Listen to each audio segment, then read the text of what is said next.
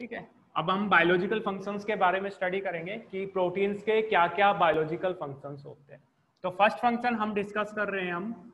आपका जो first function होता है, आपका स्ट्रक्चरल ठीक है स्ट्रक्चरल फ़ंक्शंस भी होते हैं आपके जो प्रोटीन्स है, वो आपकी जो बॉडी के अंदर जो स्ट्रक्चर फॉर्म्ड होती है, उन स्ट्रक्चर को फॉर्म्ड करने में आपकी कुछ प्रोटीन्स हैं, वो हेल्प करती है डेट्स वाई हम कह रहे हैं कि आपकी जो प्रोटीन्स है, वो आपकी स्ट्रक्चरल फ़ंक्शंस में हेल्प करती है या फिर इसी को हम लिख सकते हैं ग्रोथ एंड रिपेयर ठीक है, आपकी जो प्रोटीन्स है, वो इंडिविजुअल्स की एनिमल्स की प्लांट्स की ग्रोथ में और रिपेयर में हेल्प करती है। जैसे हम एग्ज़ाम्पल की बात करें तो आपका जो कोलाजन है, ठीक है मोस्ट अबंडेंट प्रोटीन्स है। ये क्वेश्चन ऐसे भी पूछा जा सकता है। आपका जो नीट एग्ज़ाम है 2020 का, उसमें क्वेश्चन पूछा गया था। Most abundant protein. तो आपकी मोस्ट अबंडेंट प्रोटीन कौन सी होती है एनिमल्स के अंदर? आपकी कोलाजन प्रोटीन्स होती है। ठीक है? तो कोलाजन प्रोटीन आपकी स्ट्रक्चर में हेल्प करती है। डेट्स हम क्या कह रहे हैं? स्ट्रक्चरल फ़ंक्शंस है आपके प्रोटीन का। एक आपका कोलाजन एग्ज़ाम्पल ले सकते हो या फिर आप क्रिएटिन का एग्ज़ाम्पल ले सकते हो। ठीक है? मैंने आपको पहले बताया कि आपकी जो क्रिएटिन्स है, ये आपके नेल्स में हेयर्स में हेल्प करते हैं। हेयर्स के फॉर्मेशन में। तो आपकी नेल्स में हेयर के अंदर क्या प्रेजेंट होते हैं आपकी? क्रिएटिन्स प्रेजेंट होते हैं। डेट्स वाई हम कह रहे हैं कि आपकी जो ग्रोथ में आपकी कुछ प्रोटीन से हेल्प कर रही है। डेट्स वाई हम कह रहे हैं कि आपके जो प्रोटीन का फ़ंक्शन है, वो आपका कैसा है? स्ट्रक्चरल फ़ंक्शन होता है। ठीक है, इसके अलावा आपकी जो रिपेयरिंग जो मैकेनिज्म होता है, कोई आपका टिश्यू डैमेज हो जाए तो उसके अंदर भी आपकी कुछ प्रोटीन से हेल्प करती है। नेक्स्ट हम बात करें कैटालिटिक प्रोटीन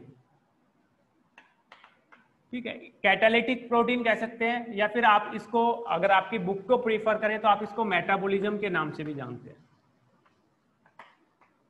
ठीक है मेटाबॉलिज्म मैंने आपको बताया था all sum of chemical reaction that takes place in a animals या फिर एक लिविंग ऑर्गेनिजम्स के अंदर जितनी भी केमिकल रिएक्शंस टेक्स प्लेस होते हैं, उसको हम मेटाबॉलिज्म के नाम से जानते हैं। तो इन मेटाबॉलिक जो रिएक्शंस है, उनको कैटेलाइज करने के लिए आपके एंजाइम्स हेल्प करते हैं और वो एंजाइम्स है, वो किसके बने होते हैं? आपके प्रोटीन्स के बने होते हैं। तो सेकंड फ़ंक्शन से आपके प्रोटीन्स का कि वो आपकी कैटालिटिक होती है। ठीक है? जैसे हम एग्जांपल की बात करें प्रोटीएज ठीक है? इसके अलावा जैसे हम डीएनए सिंथेसिस की बात करें तो आपका जो डीएनए पोलिमरेज जो एंजाइम्स होता है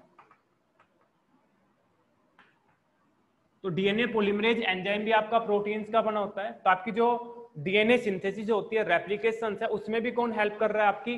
प्रोटीन हेल्प कर रही है। आपके फ़ूड के डाइजेशन में, आपकी जो डाइजेस्टिव रिएक्शन है, उसमें भी कौन हेल्प कर रहा है? आपकी प्रोटीन्स हेल्प कर रही है। ठीक है? इसके अलावा हम बात करें काइनेज एंजाइम की बात करें तो आपकी जो ग्लाइकोलाइसिस होती है, आपके फ़ूड का जो ऑक्सीडेशन होता है, उसमें भी आपके एंजाइम्स हेल्प कर रहे हैं। और एंजाइम्स किसके बने होते हैं? आपके प्रोटीन्स के मिले होते हैं। तो फ़र्स्ट फ़ंक्शन है प्रोटीन्स का स्ट्रक्चरल फ़ंक्शन है, जिसको हम ग्रोथ और रिपेयर के नाम से भी जान सकते हैं। एग्ज़ाम्पल आपको याद रखना है collagen and keratin most abundant animal protein है कोलाजन और आपका जो क्रेटिन है हेयर के अंदर प्रेजेंट होता है, आपके नेल्स के अंदर प्रेजेंट होता है। सेकंड है आपकी कैटालिटिक प्रोटीन जिसको हम मेटाबॉलिज्म के नाम से भी जानते हैं। एग्ज़ाम्पल आपको याद रखना है कि प्रोटीज एंजाइम आपके फ़ूड के डाइजेशन में हेल्प करती है। डीएनए पोलिमरेज आपका जो रेप्लीकेशन होता है, उस प्रोसेस में हेल्प करती है। और आपका जो काइनेज एंजाइम है, वो आपका ग्लाइकोलाइसिस जो प्रोसेस है, ठीक है? फोस्फोफ्रक्टोकाइनेज डिफरेंट टाइप्स के जो काइनेज है, वो आपकी ग्लाइकोलाइसिस में हेल्प करते हैं, ठीक है? तो आपकी कैटालिटिक जो प्रॉपर्टी है, उसमें भी हेल्प करता है स्ट्रक्चरल में भी हेल्प करता है। इसके अलावा हम बात करें हॉर्मोन्स की बात करें। थर्ड है आपका हॉर्मोनल है कुछ आपके जो हॉर्मोन्स है, वो भी किसके बने होते हैं? आपके प्रोटीन्स के बने होते हैं। जैसे हम एग्ज़ाम्पल की बात करें इंसुलिन ठीक है इंसुलिन जो हार्मोन है, वो आपका किसका बना होता है? आपका प्रोटीन्स का बना होता है। आपको पता है इंसुलिन का फ़ंक्शंस क्या होता है? आपकी एक ही सिंगल हार्मोन है, जो आपका कैसा होता है? हाइपोग्लाइसेमिक हार्मोन होता है। ठीक है, आपकी बॉडी के अंदर ब्लड के अंदर जो हाइपर एक्सेस जो आपका ग्लूकोज प्रेजेंट होता है, उसको क्या करने का काम करता है? रिड्यूस करने का काम करता है। ठीक है? सेकंड हम बात करें आपका जो वेसोप्रेसिन हार्मोन है, जिसको हम एडीएच के नाम से भी जानते हैं एंटी डायूरेटिक हार्मोन ठीक है? आपका ये वाटर के रिटेंशन में हेल्प करता है। ठीक है? तो आपका जो वेसोप्रेसिन है नाइन अमाइनो एसिड्स होंगे तो ये भी प्रोटीनियस हॉर्मोन्स है। तो आपके कुछ हॉर्मोन्स है, इसके अलावा आप एग्जांपल ले सकते हो ऑक्सीटोसिन का। ठीक है तो आपके कुछ हॉर्मोन्स है, वो भी आपके किसके बने होते हैं? आपके प्रोटीन्स के बने होते हैं। तो डेट्स वाई हम कह रहे हैं कि आपका जो प्रोटीन का जो फ़ंक्शन है, वो आपका हॉर्मोनल फ़ंक्शंस भी होता है। कुछ हॉर्मोन्स है, वो आपके किसके बने होते हैं? प्रोटीन्स के बने होते हैं। तीन एग्ज़ाम्पल एटलीस्ट याद रखना। एक आपका इंसुलिन का सेकंड आपका वाइसोप्रेसिन का और थर्ड आपका ऑक्सीटोसिन का। आपको इन हॉर्मोन्स के फ़ंक्शंस भी पता होना चाहिए कि इंसुलिन का क्या फ़ंक्शंस होता है वैसोप्रेसिन का फ़ंक्शंस क्या होता है और आपके ऑक्सीटोसिन का फ़ंक्शन क्या होता है। ये सभी प्रोटीनस हार्मोन है तो ये आपके प्रोटीन के ही फ़ंक्शंस है। आपकी बॉडी के अंदर ग्लूकोज की लेवल को रेगुलेट करने का काम प्रोटीन ही कर रही है। आपकी बॉडी में वाटर को रिटेन करने का काम कौन कर रहा है? प्रोटीन ही कर रही है। इसके अलावा आपकी मेल के अंदर ऑक्सीटोसिन का कोई रोल नहीं होता बट फीमेल के अंदर ऑक्सीटोसिन का रोल होता है। जैसे जो लेबर पेन है, वो कौन काज करवाता है आपका? ऑक्सीटोसिन आपका लास्ट लास्ट जो, आपका जो प्रेगनेंसी के तीन ट्राइमेस्टर के अंदर क्लासिफाई किया हुआ है। First trimester second trimester and third trimester जैसे ही थर्ड ट्राइमेस्टर आता है, आपके जो ऑक्सीटोसिन के जो रिसेप्टर्स है, वो आपके एक्टिवेट होना स्टार्ट होना स्टार्ट जाते हैं स्ट्यूमुलेट होना स्टार्ट हो जाते हैं। तो एक लेबर पेन में हेल्प करते हैं। इसके अलावा आपका जो मिल्क इजेक्शन है, उसमें भी आपका ऑक्सीटोसिन हेल्प करता है। ठीक है तो आपका फ़ंक्शंस के बारे में पता होना चाहिए और ये फ़ंक्शंस किसके, आपके प्रोटीनियस फ़ंक्शंस है। नेक्स्ट हम बात करें सेल रिकॉग्निशन में भी हेल्प करते हैं। फोर्थ है आपका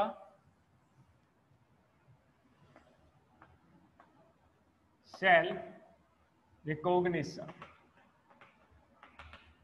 ठीक है एग्ज़ाम्पल की बात करें तो सेल रिकॉग्निशन में कौन हेल्प करता है? आपकी एमएचसी प्रोटीन ठीक है, आप हायर स्टडी के अंदर पढ़ोगे, जब इम्यूनोलॉजी पढ़ोगे, आप एमएचसी के बारे में पढ़ोगे टाइप ऑफ़ एमएचसी के बारे में पढ़ोगे, कैसे आपकी एमएचसी है सेल रिकॉग्निशन में हेल्प करती है। मैं एक बार इसकी फुल फॉर्म बता देता हूँ। मेजर हिस्टोकॉम्पेबिलिटी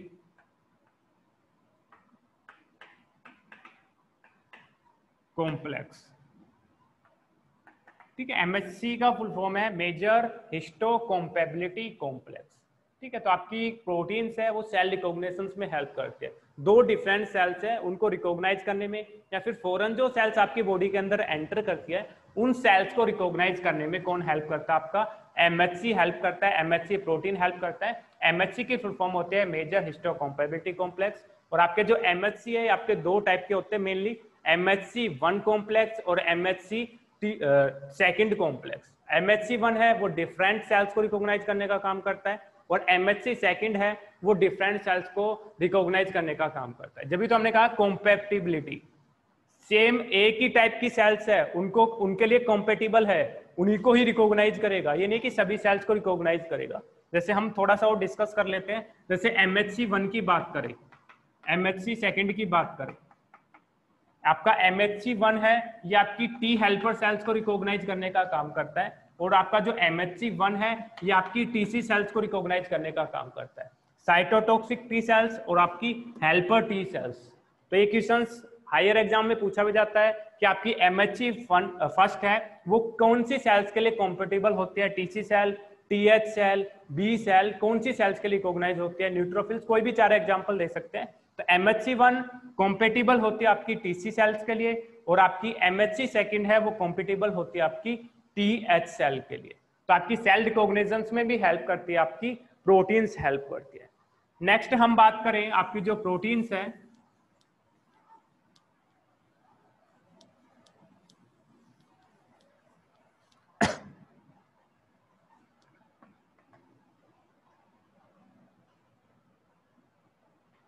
आपके जीन रेगुलेशन में भी हेल्प करती है।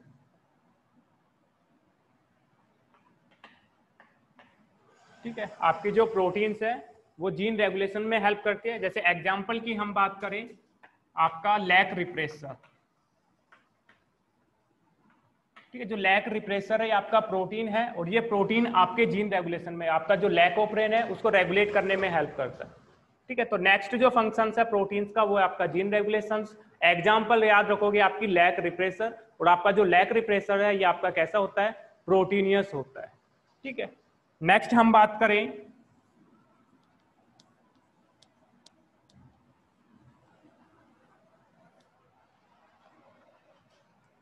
नेक्स्ट है आपका सिक्स डिफेंस में हेल्प करता है। इसको आप अपनी बुक से अगर प्रीफर करोगे तो आपकी बुक में लिखा होगा इम्यूनिटी आपकी जो प्रोटीन्स है वो इम्यूनिटी भी प्रोवाइड करते हैं। जैसे हम बात करें डिफेंस के अंदर एग्ज़ाम्पल की बात करें आपकी इम्यूनोग्लोबिन्स एंटीबॉडी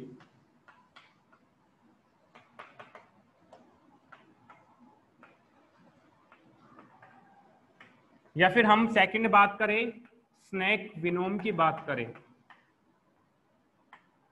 ठीक है, आपका स्नैक का जो विनोम होता है, आपकी जो एंटीबॉडी होती है, आपकी प्रोटीनियस होती है वैसे तो आपके इम्यूनोग्लोबिन ग्लाइकोल प्रोटीन्स होते हैं तो इनमें प्रोटीन पार्ट भी होता है। तो आपकी जो डिफरेंट आईजी है, आपकी इम्यूनोग्लोबिन्स है, वो आपकी बॉडी के अंदर क्या करते हैं? इम्यूनिटी प्रोवाइड करते हैं। तो आपकी जो प्रोटीन्स है, वो हेल्प करते हैं आपकी इम्यूनिटी बूस्टर के अंदर भी। इम्यूनिटी भी प्रोवाइड करते हैं। तो ये कुछ फ़ंक्शंस थे आपके प्रोटीन्स के।